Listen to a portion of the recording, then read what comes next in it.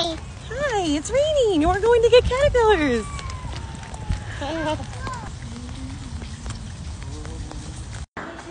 And so those ones are 10 days old if you want to see how big those Well, the Kids Space Museum in Pasadena is offering these adoptions.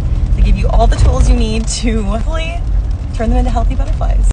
Okay, so we adopted our caterpillars. What do you think about them? They have everything they need to live in here. And we probably shouldn't touch them that much. But all their oopsie, all their food is at the very bottom.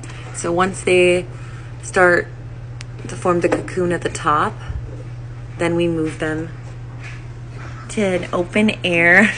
and we release them as butterflies, right? Yeah. Oh my gosh, so we have to check them every morning. Okay, let's let's just leave them there though. You want to kiss him? Oh, he's so cute.